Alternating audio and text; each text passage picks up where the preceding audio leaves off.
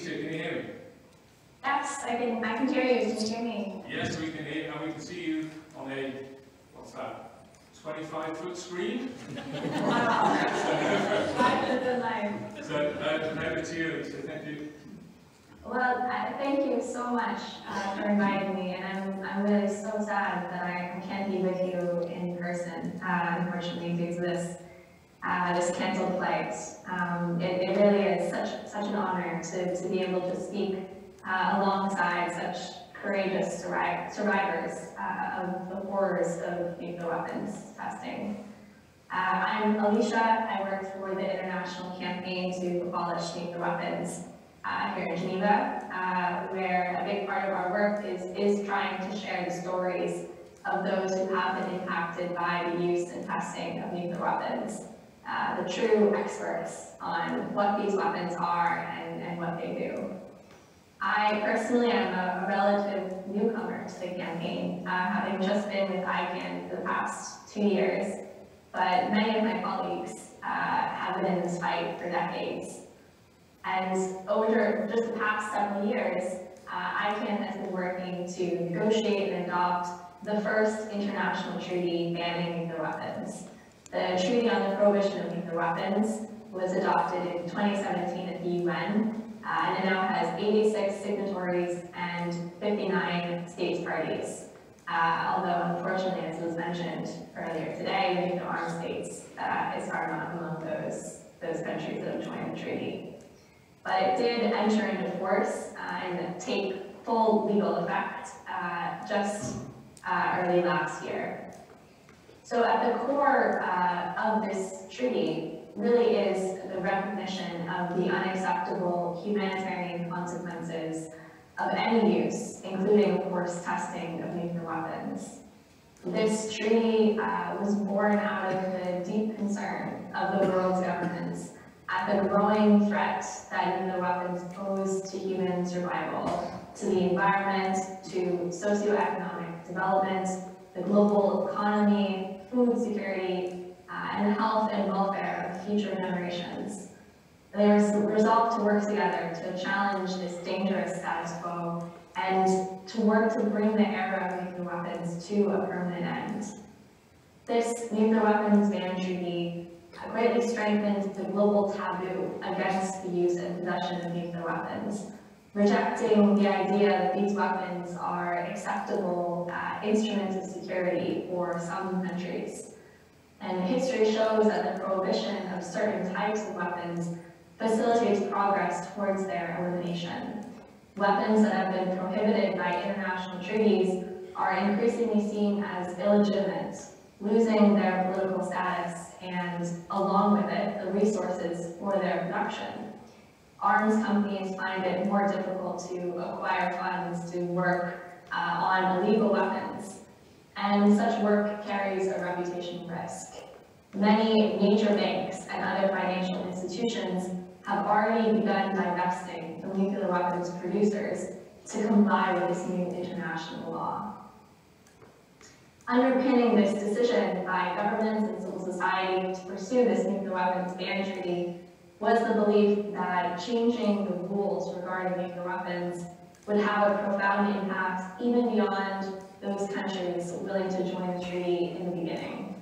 And this belief stems from experience with other treaties prohibiting other inhumane weapons, uh, which have established powerful norms that influence the policies and practices even of holdout states with weapons that don't join this treaty.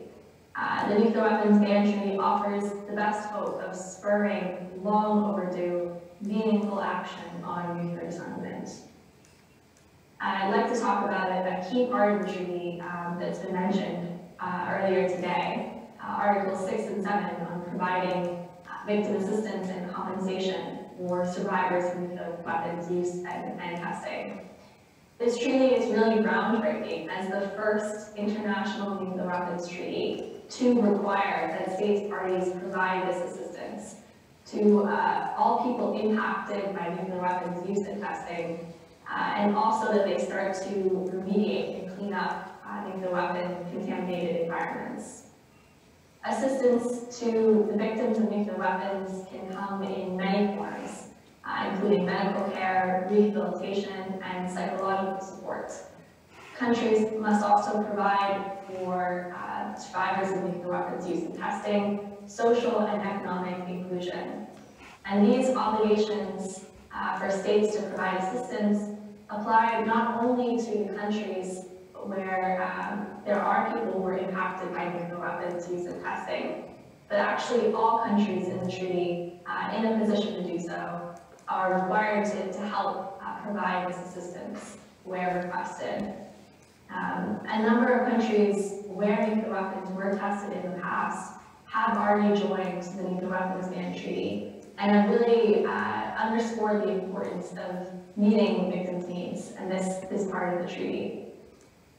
So I think notably, uh, in understanding kind of how these articles work, um, Article 6 places the primary responsibility with affected countries that have joined the treaty to provide assistance uh, and to take steps towards remediating their own environments. Uh, and this is just following the precedent of previous treaties to essentially respect state sovereignty and acknowledge that perhaps these countries are the best place to determine how uh, services should be given within their own country.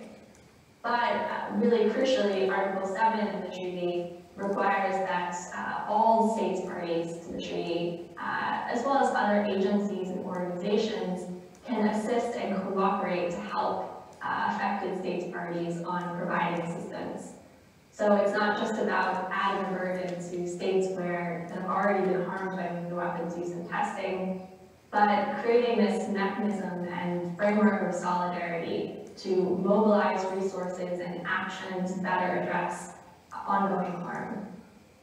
It is worth noting that uh, since international law usually only binds countries that have essentially agreed to it uh, by ratifying the treaty, Articles 6 and 7 do not uh, in and of themselves put obligations on states that have not joined the treaty. Uh, and it also doesn't impact existing uh, mechanisms for assistance in those countries. But this work and this process can involve countries that have not yet joined the treaty, including nuclear armed states, who can contribute financially to assistance programs or improve their own national programs in line with this new uh, hopefully higher international standard. Um, and this is something we saw, for example, the United States never joined the, the treaty banning landmines, but contributed significantly uh, to providing assistance for victims of, of landmines. And since the, the treaty took full effect early last year, states and civil society have really been starting to work on the plan for how to implement these articles. And we hope that the first meeting of states parties, all countries that have joined the treaty this summer, uh, will provide a, an opportunity to adopt a concrete action plan uh, to begin to do so. There have already been a series of governmental and civil society discussions on how to implement the articles uh, and best address needs. And states affected by nuclear weapons use and testing, including Kiribati uh, and Kazakhstan, have really been taking the lead uh, to develop this plan for implementation to be discussed, uh, hopefully this summer. Really at the center of the implementation of this treaty must be the voices and experiences of impacted communities.